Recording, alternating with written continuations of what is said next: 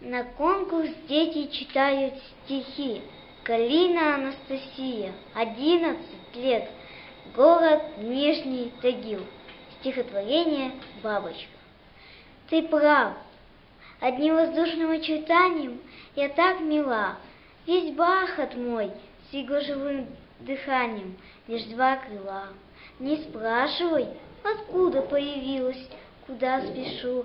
Здесь на цветок я легкий опустилась, и вот дышу.